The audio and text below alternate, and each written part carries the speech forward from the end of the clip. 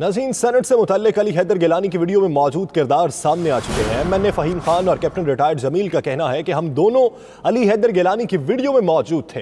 हम वज़ीर आज़म के सिपाही हैं। सहाफ़ी ने अरकान से सवाल किया, स्टिंग ऑपरेशन किसके कहने पर किया था? फ़हीम खान ने जवाब दिया, इस मामले पर पार्टी का बयानिया जल्द सामने आ जाएगा। सहाफ़ियों से होने वाली गुफ्तगु पहले मुलाहजा करते हैं। आप एक्शन का हशन जब हमें बुलाएँगे इंशाल्लाह जाएँगे। अच्छा आपका दामन साफ़ है आप समझते हैं? अल्हम्दुलिल्लाह। अल्हम्दुलिल्लाह अल्हम्दुलिल्लाह साफ़ है। हम साफ़ हैं बिल्कुल। अच्छा वज़ीर आज़म ने क्या कहा? अभी आप उनसे मिल के आ रहे हैं। वज़ीर आज़म ने स्टेटमेंट पाकिस्तान तहरीक इंसाफ के वर्कर्स हैं पाकिस्तान तहरीक इंसाफ के साथ है इमरान खान के साथ हैं इमरान खान किसके कहने पे आपने किया? हमने किसके कहने किसी पे? के किसी के कहने पे नहीं। फ़हीम अख्तर से मजीद तफसीलात जानेंगे। फ़हीम अख्तर, आज जो गुफ्तु हुई, इससे क्या पता चल सका कि स्टिंग ऑपरेशन क्या पार्टी के कहने पर किया या बजाते खुद अपने आप को उसके लिए पेश किया गया? देखें अली हैदर गिलानी की जो एक मुबैना वीडियो सामने आई थी और उसमें जो पीटीआई के कुछ एम एन एज थे वो आज सामने आए हैं पार्लियामेंट हाउस में जमील अहमद और फहीम खान, दोनों जो कि कराची से इनका ताल्लुक है उन्होंने आज पार्लियामेंट हाउस में सहाफियों से गुफ्तगू की है और ये कहा है कि हम दोनों अली हैदर गिलानी की वीडियो में मौजूद थे। उनका कहना था कि हम वज़ीर आज़म के सिपाही हैं। सवाल किया गया, क्या स्टिंग ऑपरेशन किसी के कहने पर किया था? तो उनका कहना उनका कहना था कि इस मामले पर जल्द पार्टी का बयानिया सामने आ जाएगा। एक साथी ने ये सवाल किया, क्या अपने तौर पर किया ये सब कुछ या किसी के कहने पर? इसके ऊपर जो सवाल का जवाब तो नहीं दिया गया, लेकिन जो रुकने कौमी असम्बली है जमील अहमद, उन्होंने कहा कि हम पीटीआई और इमरान खान के साथ हैं। हमने किसी के कहने पर वीडियो नहीं बनाई। हम दो अ, सवाल किया कि आपने जो पैसे लिए हैं तो फहीम खान ने जवाब दिया जो पैसे लेते हैं वो पब्लिक में सही। नहीं आते। फ़हीम अख्तर आपको जो तफसीलात थी आपने पहुंचाई साथ ही रहेगा। हमें यहाँ पे ज्वाइन कर चुके हैं सीनियर सहाफ़ी राना मोहम्मद अजीम साहब। राना साहब ये जो सूरत हाल सामने आई है उनका ये कहना है कि पार्टी बयानिया जल्द सामने आ जाएगा। अंदरूनी इतलात क्या है? ये किसके कहने पर गए थे? देखिए जी एक तो चीज़ में रखिएगा कि एक लिस्ट तैयार हो चुकी है जिसमें जिस तरह आज वजी अजम पाकिस्तान ने हवाला दिया अपनी तकरीर में कि इलेक्शन कमीशन को चाहिए कि मुख्तलिफ़ इंटेलिजेंस एजेंसियाँ जो हैं उनके लोगों को बुलाकर उनसे पूछा जाए कि किस किस तरीके से पैसा चला। अब पैसा चला है पैसा चला है सबूत मौजूद हैं अहम तरीन अदारों ने वो सबूत भी असर कर लिए हैं। कुछ वीडियोस सामने आ गई हैं कुछ वीडियो सामने नहीं आई। वक्त आने पर वो वीडियोस भी सामने आ जाएँगी। और ये एक, एक से दो दिन में एक आधी और वीडियो भी सामने आ जाएगी चाहे वो ऑडियो हो चाहे वो वीडियो हो, ये सामने ज़रूर आएगी। और यहाँ तक ये कराची का मामला है, कराची के, कराची में वोटर्स के वाले से तो ये शोर मचा था। अब उसके बाद वो क्या जानबूझ के किया गया था? वो स्टिंग ऑपरेशन था, वो एक प्लानिंग थी, क्या थी? ये सारे मामला तो सामने आ जाएँगे, लेकिन एक चीज़ तो क्लियर हो गई है। अब इस पर अगर कोई वजाहत देता है तो उसकी वजाहत माननी नहीं चाहिए, क्योंकि वज़ीर आज़म ने जब आज कहा है खुद असम्बली के फ्लोर पे खड़े होकर और ये कहा है पार्लियामेंट में कि सासदारों को बुला के उनके लोगों से पूछ लेना चाहिए। उनके पास इंफॉर्मेशन है कि पैसा चला है। और यहाँ से पैसा चला है, इसमें कोई दूसरी राय नहीं। हम भी पहले बता चुके थे किस सूबे में कितने पैसे चले हैं। अब आज जो लोग आए हैं, ये क्यों आए हैं?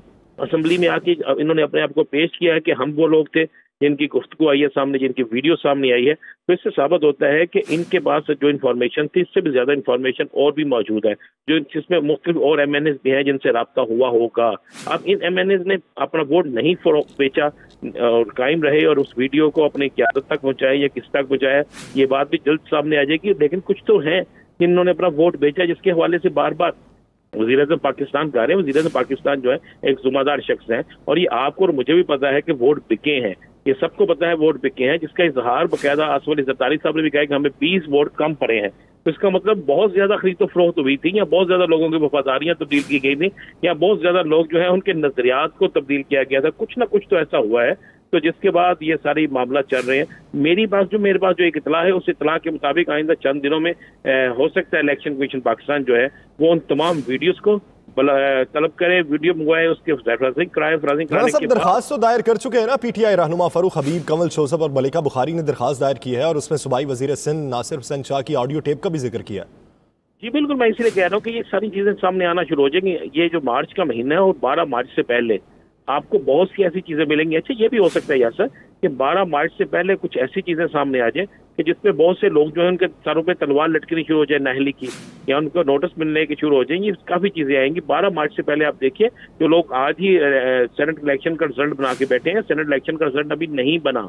यानी चेयरमैन सेनेट के इलेक्शन का रिज़ल्ट अभी नहीं बना। बारह मार्च तक बड़ी चीज़ें तब्दील होती नज़र आ रही है।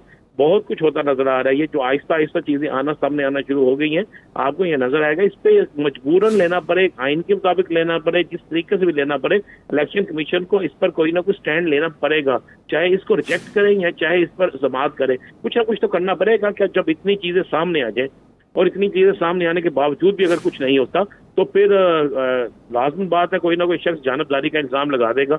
और मैं आपको ये भी बताता चलो कि मेरे पास तो ये भी इतला है कि अगर इलेक्शन कमीशन ने कुछ ना किया तो हो सकता है पीटीआई की जो कोर कमेटी है या पीछे पीटीआई के कुछ एम एन एज हैं या कोई और अहम तरीन मारूफ जो वकील है वो अला अदलिया से रजू कर ले कि अला अदलिया से ये रजू किया जाए कि इलेक्शन आने वाले दिनों में कुछ डेवलपमेंट हो सकती है इस वीडियोस को लेकर या दूसरे किसी एक्शन पर। बहुत शुक्रिया। राना मोहम्मद अजीम साहब और फहीम अख्तर इस हवाले से आगाह कर नाजीन पीटीआई रहनुमाओं की गुफ्तु आपने सुनी, एक बार फिर से बात कर लेते हैं इसी इशू पे जिस पे वो गुफ्तु कर रहे थे कि सेनेट से मुतलक अली हैदर गेलानी की वीडियो में मौजूद किरदार भी सामने आए। M N A Faheem Khan और कैप्टन रिटायर्ड जमील का ये कहना है कि हम दोनों अली हैदर गेलानी की वीडियो में मौजूद थे और हम वज़ी अजम के सिपाही हैं। उनसे जब सहाफ़ी ने सवाल किया कि स्ट्रिंग ऑपरेशन आपने किसके कहने पर किया था? फ़हीम खान ने यह जवाब दिया कि इस मामले पर पार्टी का बयानिया जल्द सामने आ जाएगा। यानी इससे तासुर यह आता है कि पार्टी के कहने पर इन्होंने स्टिंग ऑपरेशन किया था जिसके बाद ये वीडियो मंजर आम पे आई थी और जिसके बाद एक नई बहस ने जन्म लिया था, जिस पर अब पाकिस्तान तहरीक इंसाफ के रहनुमा, इलेक्शन कमीशन ऑफ़ पाकिस्तान में एक पटिशन भी दायर कर चुके हैं कि किस तरीके से इन्होंने वोट ज़ाया करवाए, किस तरीके से इन्होंने सेनेट इलेक्शन की कंपेन को सबूताज किया और पैसों का कारोबार चलाया। इस पटिशन में उन्होंने एक और ऑडियो टेप का भी हवाला दिया है, लेकिन अभी फिल वक्त बात हो रही है, अली हैदर गेलानी की वीडियो जो मंजर आम पे आई थी उसके जो मरकजी किरदार थे, जो उस वीडियो में दिखाई नहीं दे सके, वो मरकजी किरदार अब खुलकर सामने आ चुके हैं। फ़हीम अख्तर ने एक बार फिर से हमें ज्वाइन किया है। फ़हीम अख्तर, इस वीडियो को लेकर पार्टी अरकान का मौकफ क्या था? कि उनका मकसद क्या था इस वीडियो को बनाने का और मुलाकात करने का? देखें जो उनसे गुफ्तगु हुई है, उसमें तो वो यही बता रही हैं कि एक स्टिंग ऑपरेशन था। लेकिन उनसे ये पूछा गया कि क्या आपको किसी ने कहा था कि आप ये ऑपरेशन करें? तो उसका इस पर इन, इन दोनों एमएनएस का कहना था कि इसके ऊपर जल्द पार्टी का बयानिया सामने आएगा। वो कह रहे थे कि हम इमरान खान के सिपाही हैं और तहरीक इंसाफ के रुकन हैं। जब उनसे पूछा गया कि आपने कितने पैसे लिए हैं और क्या आपने उनसे पैसे वसूल किए थे तो उनका कहना था जो पैसे लेते हैं फिर वो पब्लिक में सामने नहीं आते। दोनों एम ने कहा कि जब उनसे ये सवाल पूछा गया कि जब इलेक्शन कमीशन आपको तहकीकात के लिए बुलाएगा तो क्या आप उसमें इलेक्शन कमीशन के सामने पेश होंगे? तो उनका कहना था कि हम इलेक्शन कमीशन ऑफ़ पाकिस्तान के सामने पेश होंगे और तहकीकात के लिए हम मुकम्मल तौर पर तैयार हैं। जो उनसे जब ये सवाल पूछा गया कि क्या आपको किसी तहरीक इंसाफ के रहनुमा की जानब से कहा गया कि आप स्टिंग ऑपरेशन करें तो इसका उनका जवाब था कि हमें किसी ने कहा नहीं, लेकिन इसके ऊपर बाबा पार्टी का बयानिया सामने आएगा। बहरहाल आज ये दोनों एम एन जो कि जमील अहमद खान और फहीम खान जो कि जिनका ताल्लुक कराची से है वो आज वजी अजम को अहतमाद का वोट डालने आए थे और उन्होंने वजी अजम को अहतमाद का वोट भी डाला है और बाद में सहाफियों से गुफ्तु करते हुए इस बात का एतराफ़ किया है कि जो अली हैदर गिलानी की मुबैना वीडियो है वो उसमें यही दो किरदार थे। सही फ़हीम साथ ही रहेगा हमें राना अजीम साहब दोबारा से ज्वाइन कर चुके हैं। राना साहब जैसा कि फ़हीम अख्तर ने यह बताया कि उनका पार्टी अरकान का यह कहना है कि हमें किसी ने कहा नहीं, लेकिन इस पर पार्टी बयानिया जल्द सामने आ जाएगा। आप अभी तक के मंजर को देखते हुए किस नतीजे पर पहुँचते हैं कि क्या ये किसी के कहने पर गए या बजाते खुद अपनी ज़ाती राय पर इन्होंने फैसला किया?